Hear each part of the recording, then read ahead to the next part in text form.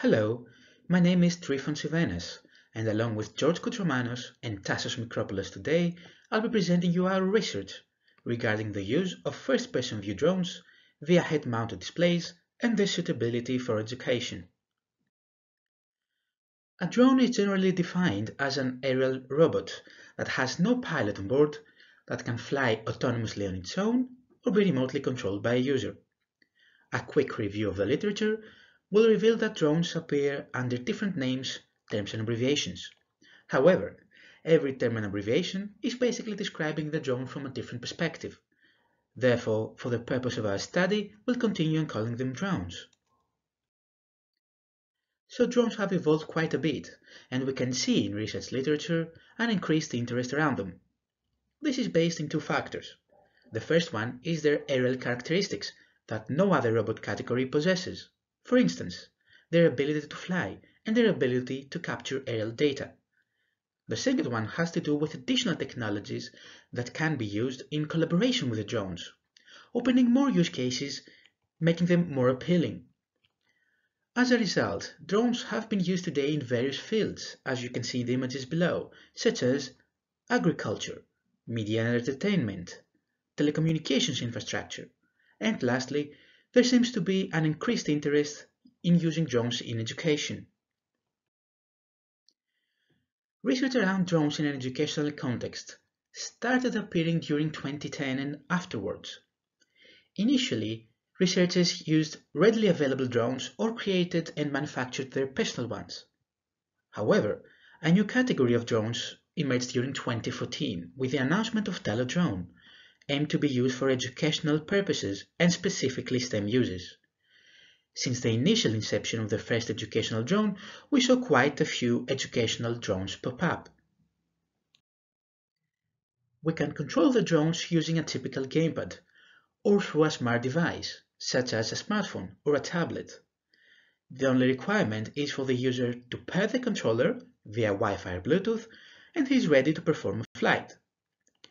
One downside of flying with a gamepad is the fact that the user has to constantly keep his eyes to the drone, and he is therefore able to fly the drone within his line of sight, as you can see in the illustration below. He could use a mobile app in order to fly the drone, these apps usually have a virtual gamepad for the user to control the drone, and they show the drone's camera feed among other data.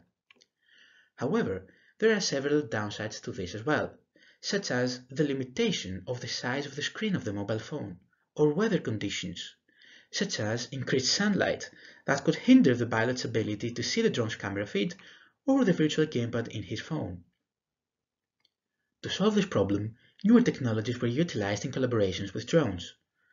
Recently, the concept of flying a drone using head-mounted display kits appeared. Through this way of flying, the user has to wear a head-mounted display that covers his eyes and therefore his line of sight. He has to use a gamepad in order to control the drone, and he is able to pilot the drone by seeing the drone's footage in real time before his eyes. One of the key results in several studies around drones has to do with the drone's ability to capture aerial footage. And since the drone looks down to the objects from above, it resembles like the bird's eye view. So the pilot is basically feeling like he's flying. This feeling seems to be amplified when the pilot uses a head-mounted display, since they get the sensation they're actually flying in real time and they're experiencing the flight in first person. This sort of flying via head-mounted display is called first-person view flying. We investigated into the affordances and benefits of head-mounted displays and drones, and the results as you can see seem fairly promising. Apart from the studies that report higher immersion, we investigated head-mounted displays and drones in educational contexts. Even though drones in education seem fairly popular, Little research has been done in the utilization of head-mounted displays and drones for educational purposes. Therefore, after identifying the research gap, the aim of our study was to investigate the factors that influence the use of first-person view drones in order to determine their suitability in both teaching and learning. The rationale behind this has to do with the fact that the teacher is an important catalyst in the adoption of any technology in the classroom. In other words, if the teacher isn't confident in using such technology, he will not adopt it in his classroom. Specifically, we investigated spatial presence, simulator sickness, and usability. As far as methodology goes, our sample consisted of 60 primary in-service teachers that were attending a master's course in our university. We collected our data using Google Forms and we used three scales that you can see in the presentation, namely Temple Presence Inventory, the Simulator Sickness Questionnaire, and the Systems Usability Scale.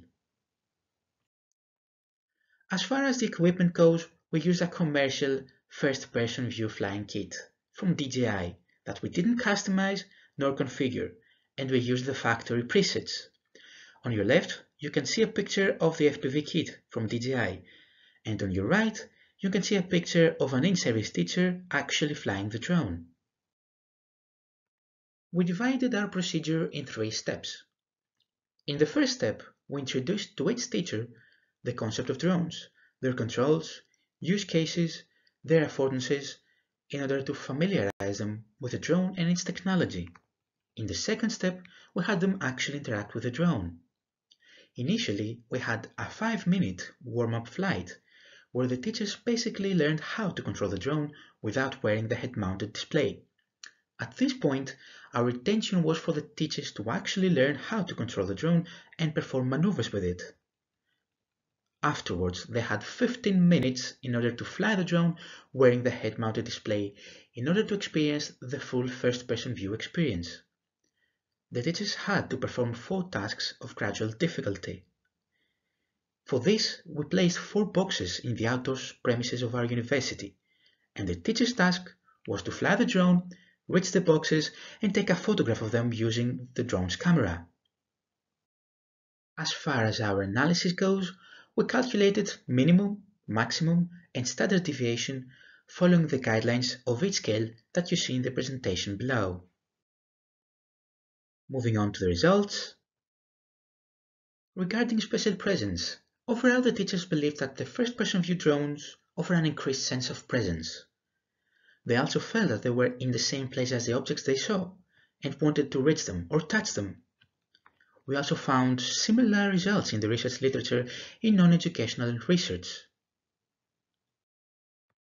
Regarding the simulator sickness results, we noted that two categories rated the highest, namely disorientation and oculomotor. However, we don't have similar studies to compare them to with FPV drones. On the other hand, comparing these findings to others of those technologies that use similar smart wearable devices, our results seem to be relatively low on the sickness scale. As far as usability goes, the teachers acknowledge the FPV drone's perceived usability and they're quite positive towards their potential use in education. As you can see, the majority of the teachers would like to use them in their classroom and considers them fairly easy to use. What's most interesting is that even though our sample wasn't quite familiar with the drones and their technology, they feel that they don't need technical support in order to use them in their classroom. Lastly, this is one of the first studies that examines in-service teachers' spatial presence, sickness, and usability of first-person view drones. And overall, the FPV drone was well received, and the majority of the teachers would like to use it again in their teaching. One limitation has to do with our equipment. We didn't want to use a custom kit, and we didn't want to mix and match drones and head-mounted displays from different manufacturers, as our intention was a seamless experience for the teacher, so probably a custom kit could yield different results. The implications that were identified have to do with drone manufacturers, and since there seems to be an increased interest around educational drones, it could help them in creating a new segment of educational first-person view drones. Lastly, Future studies could examine the use of FPV drones using different kits, bundles, or different sample. This concludes our presentation in FPV drones. I would like to thank you for your time.